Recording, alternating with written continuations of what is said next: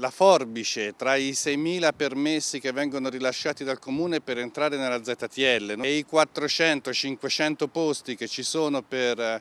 per queste persone eh, fa capire che non sono 50 posti in più o in meno. Un parcheggio per ogni 10 permessi ZTL. È il Comitato Parcheggi Centro Storico a denunciare questo squilibrato rapporto tra coloro che risiedono o lavorano nel centro cittadino e gli effettivi posteggi auto presenti nella zona, un disagio espresso più volte dal Comitato che si sarebbe addirittura aggravato durante il periodo delle festività natalizie tante iniziative, eh, tante persone nei negozi e è sempre più difficile trovare parcheggio.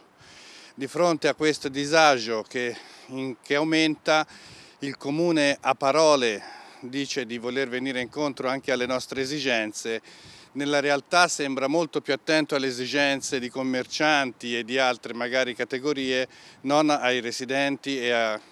tutti quelli che vengono a lavorare nel centro storico. Abbiamo sollecitato noi un incontro, a questo incontro l'amministrazione comunale si è presentata dicendo di voler ascoltare e non di avere delle proposte, dopodiché siamo stati sollecitati ad attendere un prossimo incontro che verrà fatto dopo che il Comune avrà deciso tutto il piano di mobilità eh, e quindi presumiamo ci possa venire presentato un pacchetto già precostituito magari eh, concordato con altre tipologie di esigenze ma non con quelle dei residenti. E noi chiediamo al Comune di eh, rovesciare le priorità, prima i cittadini e le loro esigenze, poi i parcheggi a pagamento.